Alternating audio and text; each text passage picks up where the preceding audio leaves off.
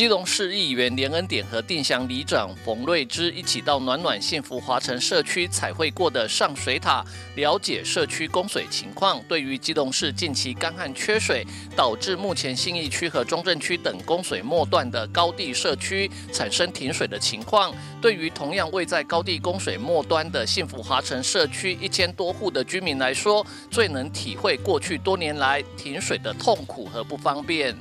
同样的场景。感觉这个感受真的是很深。那时候呢，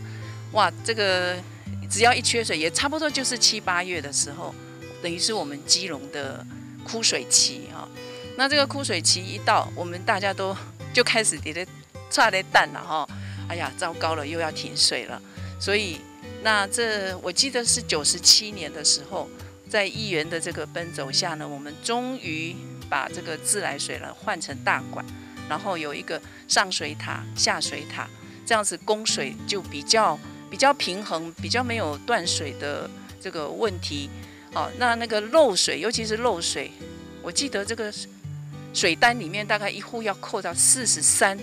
去分摊漏掉的水，这个真的是一个不但是金钱，也是一个水资源的浪费。因为在基隆市议员连恩典多年来努力奔走协调下，社区原有的上下两社区水塔，在自来水公司接手社区自来水管维管后，终于发挥正常蓄水功能。近几年开始，已经不再有经常性停水的痛苦，就算缺水停水，也不再说停马上就停，无水可用，让居民们重回稳定供水的幸福。那那漏水，因为诶。当初自来水公司的水只有送到山下，那所有社区里面的管路就是社区自己要来处理。那长时间来，诶，二十年、二十多年来，他们的水管也老旧，每次自来水公司只要水不足，加压送水，那水管就会再爆、再修、再爆。所以这个问题后来终于，诶，多方面的大家的努力哈，包括诶自来水公司市长。还有一起来把解决，好，就是能够把这个管线交还给自来水公司。之后呢，也因为新华城第一个案例，那也让全省高地供水就开始解决，政府开始补助八成，